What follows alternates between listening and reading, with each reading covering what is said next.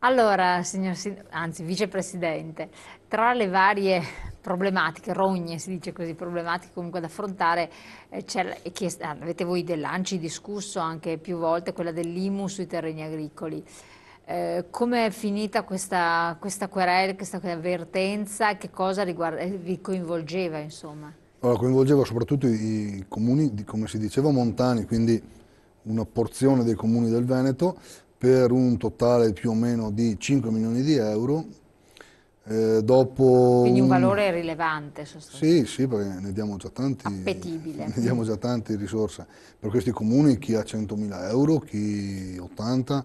Eh, chiaro che, che andavano sono... direttamente ai comuni questi soldi o allo Stato centrale? No, vanno allo Stato, poi lo Stato te le ridà perché funziona così, le tasse vengono con l'F24, vanno allo Stato, lo Stato poi te le, eh, te le ridà.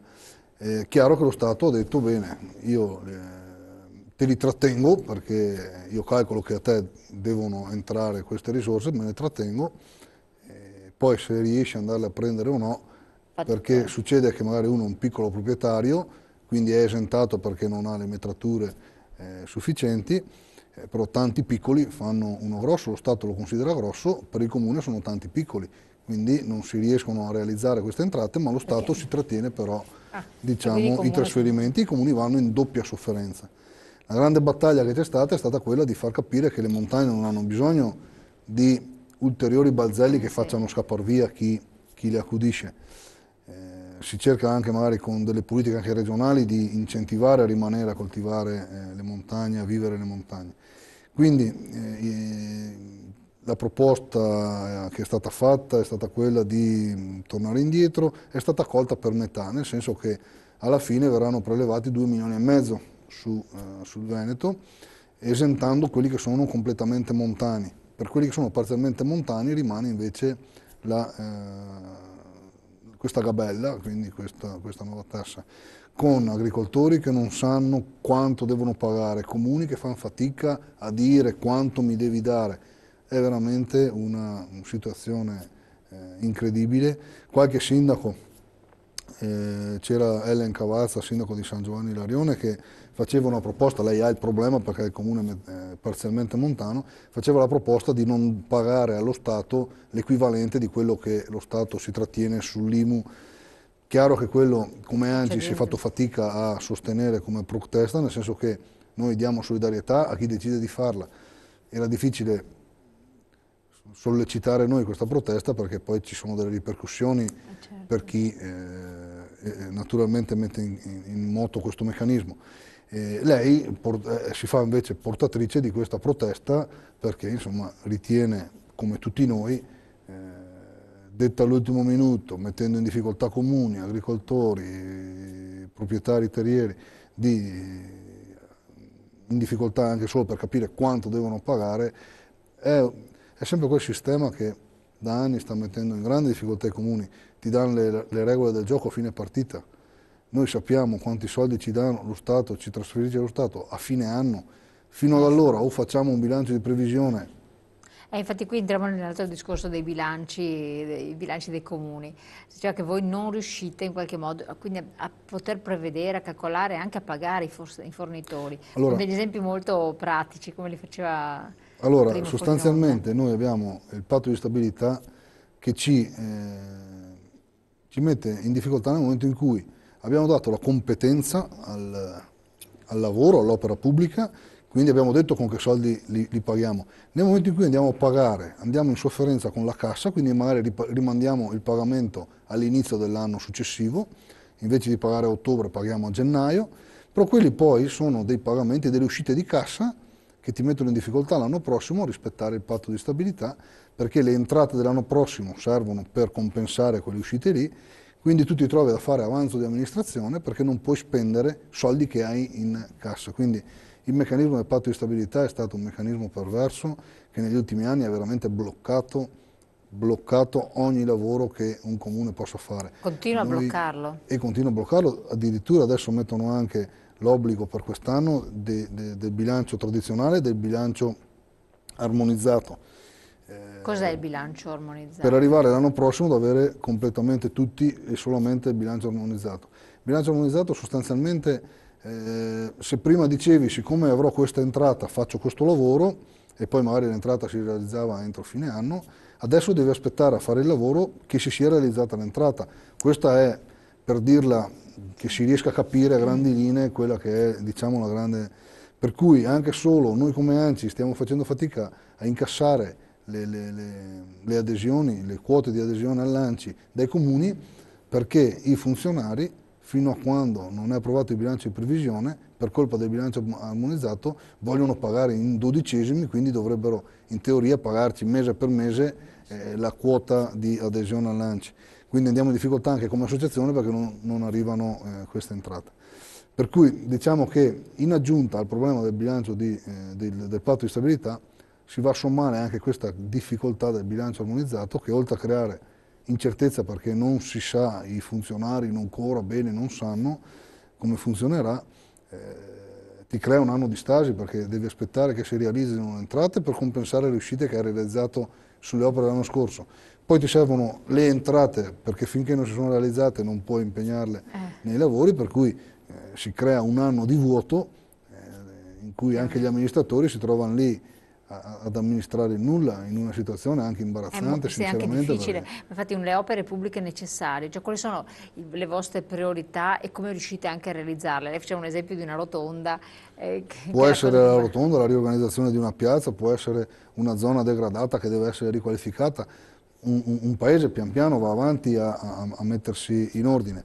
Eh, non puoi in questa situazione cioè fai fatica a fare la manutenzione, a mettere i 10.000 euro per chiudere le buche, eh, pensare di mettere un milione di euro per fare degli interventi importanti non è neanche pensabile. Qual è il settore che viene penalizzato per primo nell'ordine delle... Cioè ci sono delle priorità oppure... Beh insomma allora eh, vengono di sicuro le opere pubbliche, vanno messe in stand by e quello tu avevi fatto dei progetti, avevi creato un programma elettorale anche su dei lavori che... Questa è l'altra componente. Oddio, un amministratore mm, fa anche quello, fa delle promesse, eh, si prende degli impegni nei confronti dei suoi cittadini e poi vorrebbe poter anche eh, portare a termine queste, questi impegni che non sono stati trovati nel libro dei sogni, ma sono cose concrete che, soprattutto in un'amministrazione come la nostra, che aveva 5 anni di esperienza, ha fatto ragion veduta. Chiaro che poi invece ti cambiano le situazioni da un giorno all'altro, le peggiorano eh, sempre di più, ti trovi veramente a far fatica. Adesso noi stiamo andando a inaugurare qualche struttura che è stata avviata nella precedente amministrazione e che andiamo a concludere, però mettere in, in campo altre opere mh, non ci sono le condizioni e noi avremo impianti sportivi dove mancherebbe uno spogliatoio, mancherebbe eh, campo sintetico, ci sarebbero delle cose che le associazioni ci fanno presente perché c'è un bel giro anche nel mondo sportivo, i ragazzi partecipano, hanno bisogno di, di, di abbiamo fatto un campo da rugby 5 anni fa, bisognerebbe fare eh, lo spogliatoio perché va in sofferenza lo spogliatoio del campo da calcio, non sono neanche grandi cifre, però tra quello, un, un campo sintetico e un po' di, di, cose che mancano, un milione di euro lo potresti mettere negli impianti sportivi e non, e non puoi neanche sognartelo, quindi diciamo che da quello a strutture scolastiche piuttosto che altre diventa veramente difficile e ci sono cose che sarebbero anche previste per legge, per cui eh, andare a mettere a norma l'antisismica piuttosto che... Eh, Sareste anche tenuti a farlo, soltanto non ci riuscite, non riuscite a stare. Ecco, il, la provocazione che fanno è, alcuni... È difficile, perlomeno. Quali sono i rischi se non si rispetta questo patto di stabilità, se non ci si attiene a queste... Eh, allora, il patto di stabilità, se io lo sforo per 100.000 euro, l'anno prossimo una penalità di 200.000.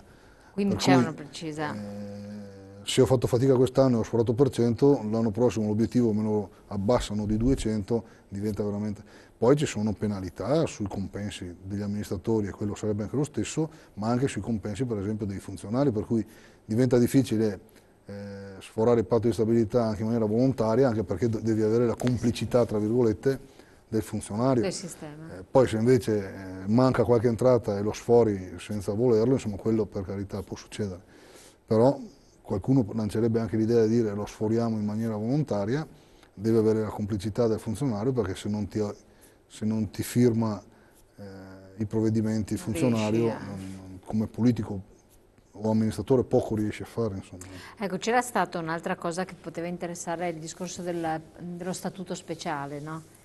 Che lo statuto speciale lì, nel mentre il governo eh, lavorava sulle modifiche costituzionali, eh, la Lega ha fatto un, una proposta di emendamento per riconoscere al Veneto lo statuto speciale, come c'è in altre regioni, per cui eh, per noi niente di eh, scandaloso. E come Anci Veneto abbiamo votato all'unanimità in direttiva Anci Veneto di sostenere questa proposta fatta dal governatore Zaia e eh, portata dai nostri onorevoli, votata all'unanimità, quindi in maniera trasversale da tutti gli amministratori di qualsiasi appartenenza politica, perché è un tema che a livello veneto è molto sentito. E più Roma chiude i rubinetti, nel senso, o, o, li, o li, apre i nostri nei suoi confronti, eh, più diciamo, si sente forte la necessità di tutelarsi. Quindi l'abbiamo votata all'unanimità, eh, peccato che poi quando l'hanno votata a Roma non, hanno bocciato l'emendamento, da tutti tranne l'abbiamo votata solo noi, i nostri onorevoli della Lega, gli altri hanno votato contro, per cui diciamo che non è passato e, e quindi è rimasta se non altro un bel segnale politico, io voglio... Ma dire. qui in Regione Veneto era stato sostenuto a livello trasversale da tutti i partiti o soltanto dagli esponenti della Lega? No, no, no, no. qui Anci Veneto ha votato in direttivo all'unanimità quindi a prescindere dall'appartenenza politica tutti, era il sostegno mentre... a questo emendamento. A e questo, questo non è stato compreso invece a Roma? Dove... Questo non è stato compreso dopo, eh, noi è anni che diciamo che i partiti purtroppo sul territorio predicano in una maniera, poi quando sono a livello nazionale a Roma devono fare altre dinamiche perché alla fine poi eh, loro, noi meno come partito perché siamo territoriali eh, e vogliamo rimanere territoriali per quello, chi, chi là poi ha da, da, dalla Sicilia fino alla Valle d'Aosta chiaramente è un'altra questione. un'altra questione per cui predicano l'autonomia qua sul territorio, poi a Roma...